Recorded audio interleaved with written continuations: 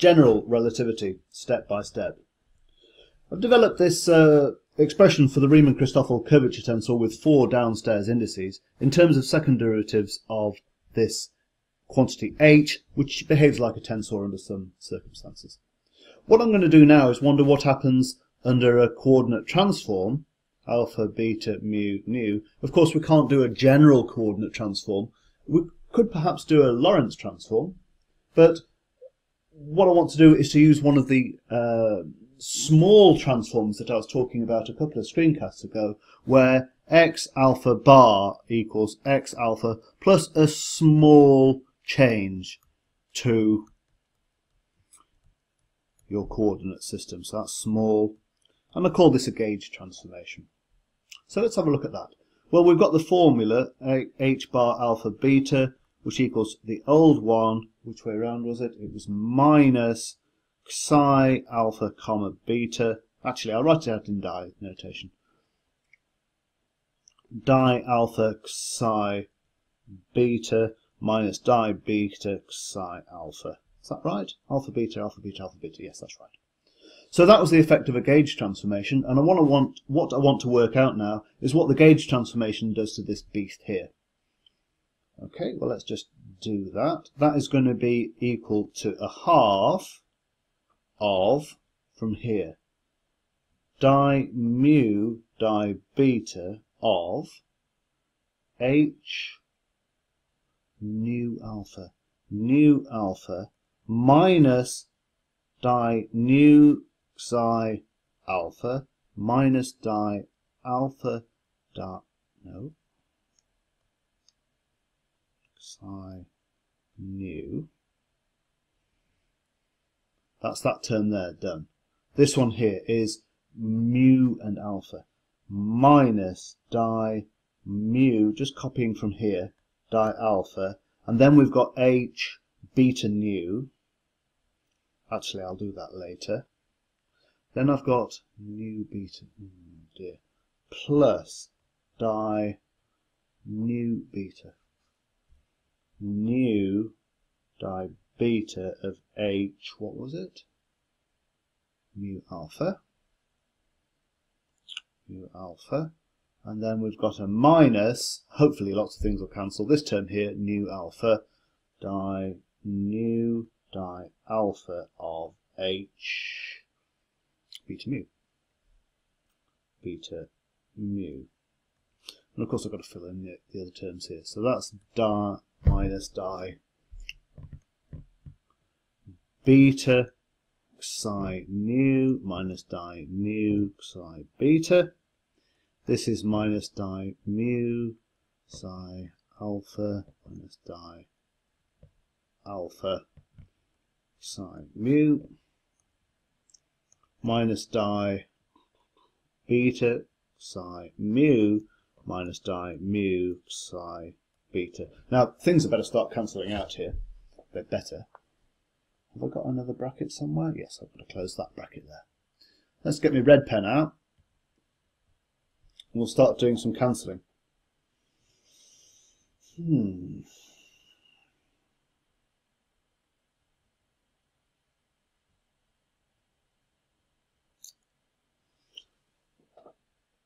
Not very much cancels inside these brackets here.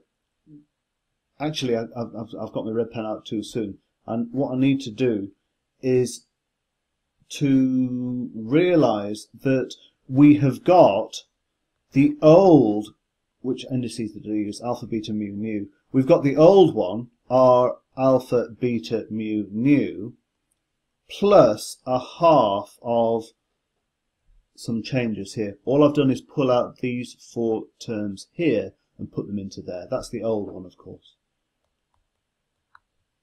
So it's plus a half, and hopefully lots of things are going to cancel out. So I've got minus di mu di beta di nu, uh, no it's not an h, it's a psi alpha, minus mu beta alpha, mu beta alpha psi nu. Now things start better cancelling out.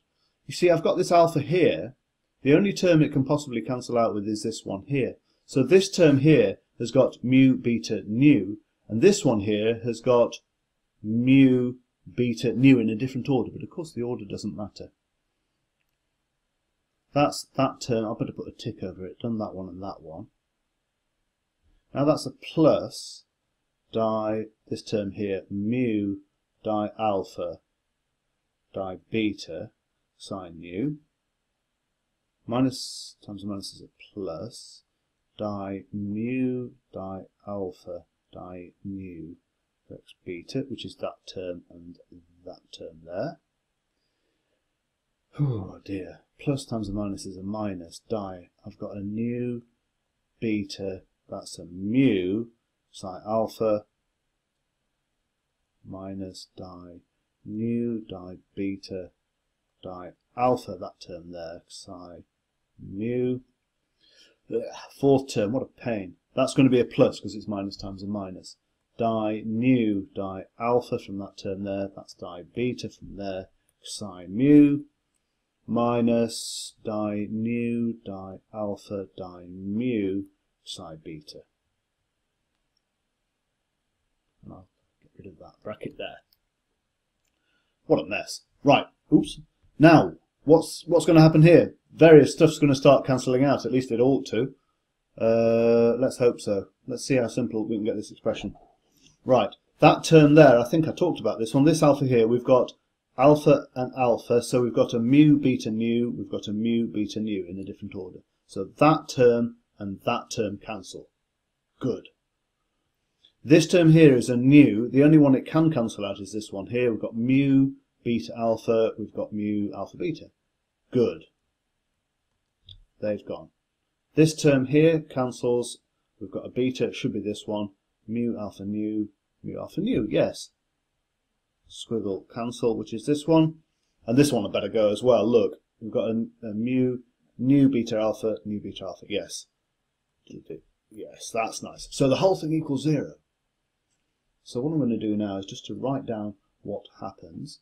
The barred coordinate system equals the unbarred coordinate system. That's nice. It's, I'm going to spend a little bit of time talking about what that means. What, what that means, what we have done is take a coordinate transformation, which does not change the tensor. What I have shown here with this line of argument is that not only does the tensor itself not change, but the components of the tensor don't change, and that is important. That is what we're going to use. It's as though I've got this nice vector here in terms of uh, a nice x and y coordinate system. And I've got the same vector expressed in a rotated coordinate system. And of course, the, the, the components change because the co components uh, are in different directions. And so the, the components have changed. Let me write that out a bit more neatly. The components have changed because in the old coordinate system they go along there and up there and in the new coordinate system it's the same vector supposed to be the same vector in some kind of rotated coordinate systems and of course the components of the vector have, cha have changed the vector is still the same what I have shown here is that the components of the Riemann-Christoffel curvature tensor do not change under a gauge transformation and that's important they, the reason they don't change is this rather complicated cancellation, and I'm making use again and again and again and again of the linearity of the approximation. Okay, so what can I do with that? Well, that gives me a whole bunch of a whole bunch of extra possibilities, which I'm going to use in subsequent screencasts. But for the moment, I'm going to stop there. Stop, stop, stop, stop, stop.